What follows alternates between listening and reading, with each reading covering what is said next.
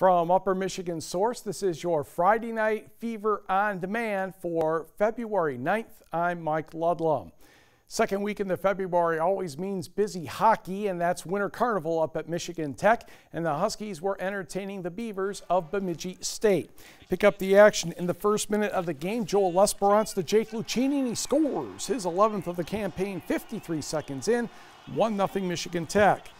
A little more than halfway through the period, Jordan Heller will get a wide open net off a scramble, and he puts that one home for his fourth. 1 1 after 20 minutes. To the second, TJ Rue sneaks this one past the pouch of Robbie Beydoun, and the Beavers have the lead at 1044.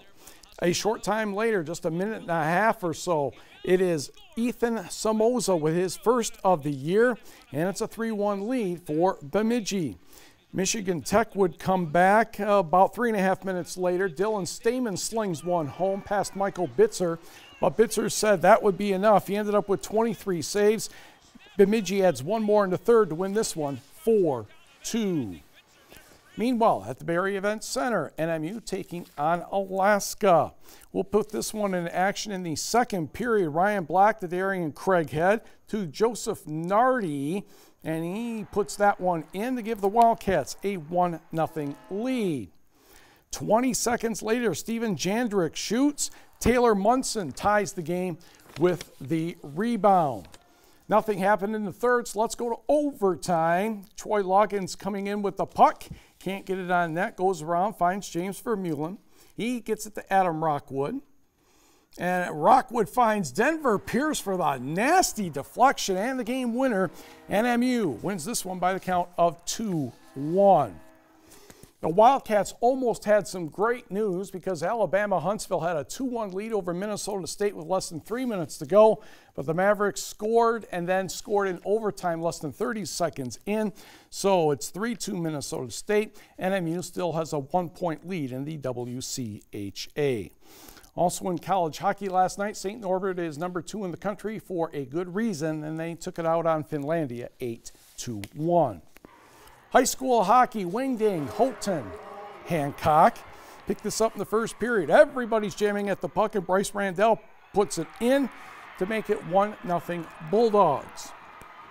Second period now. There is going to be a missed shot. Alex Nordstrom will pick it up and put it in and the Bulldogs are up by a pair. Still in the second, Nordstrom's getting everybody uh, all excited again. He gets the puck on Will Steyer, poked out.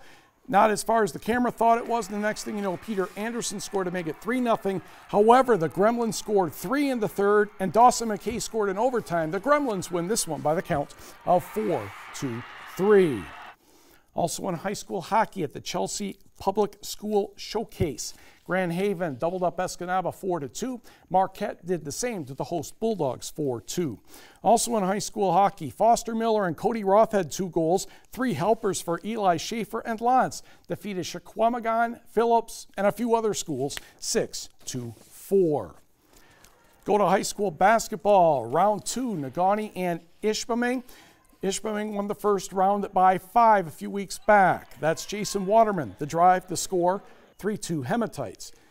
And it took the Hematites a few minutes to get a basket, but it was a good one. Hart Holmgren on the steal and slam that tied the game at five. And the Negaunee coach Dan Waterman called timeout so fast, couldn't even see it.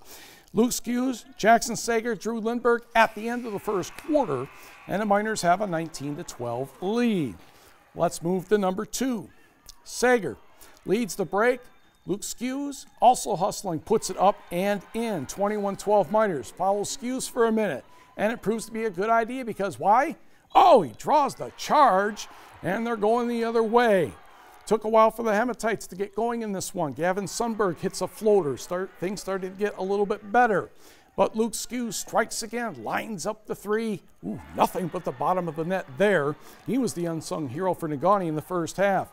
Just before the buzzer, Hart Holmgren hits a triple. That brought Ishpeming within 30 to 24, but the Miners did not fold. They even the series at one, taking this one 57 to 50. There's plenty of excitement in terms of the boys basketball pool. What I can tell you is Iron Mountain is number one on the Big Five side, although they had to work at it. Iron Mountain defeated Norway 58-53. Marcus Johnson 23 for the Mountaineers. Connor Ortman had 24 for the Knights. Nathan Beckman and David Delary combined for 45 points as Westwood turned back Manistique 61-41. Bessemer, 32 better than Watersmeet, 68-36. Griffin Revor, 26 more points for Ironwood. Red Devils, 72. The Granite Diggers, 55. They're from Mellen still. Republic Michigamme over Baraga by 15, 41-26. Chassell gets past Jeffers, 48-35. Oh, a wild one in Dollar Bay. Maybe the Blue Bolts should play all their games at Michigan Tech. Dollar Bay hangs on to beat Ontonagon 63-62. Ed Polakowski had 20 for the Gladiators. Another wild one at Lakeland and Humboldt. Double overtime for L'Anse, 77-69 over the Lakes. Carter Crouch had 23 for the Lakes, but the Purple Hornets Reese Wara had 22 points, 14 rebounds, 12 assists, and 8 steals. Okay, it's double overtime, those are still really cool numbers. West Iron County used good free throw shooting in the fourth quarter to turn back Calumet in a key Westpac battle 49 to 44. Wing Ding basketball. You have Wing Ding hockey and Wing Ding basketball between Houghton and Hancock. First quarter action for Hancock. Carson Chenoweth to Coy Anderson 4 3.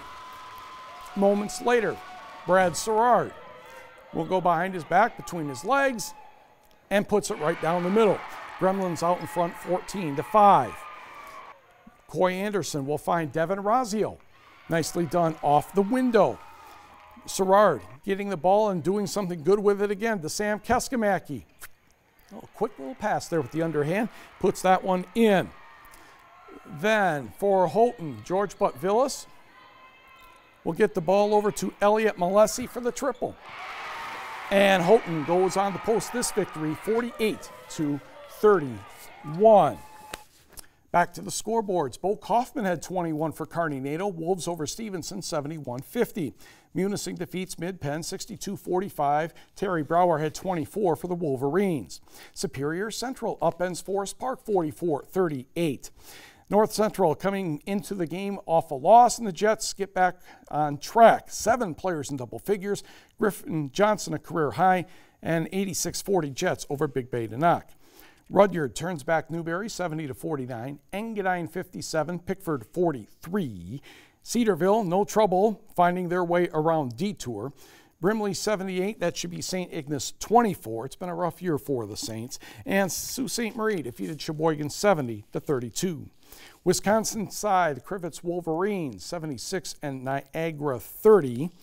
Girls basketball, Marquette had 22 points from Avery Leedy, defeating Kingsford in overtime 53-44, and Westwood doubled up Manistique 52 26. College basketball, Rough games for Bay College, but Silver Lake's pretty good. Lakers won the women's game 63-48, 13 points for Norway's Jordan Kramer for the Lady Norse.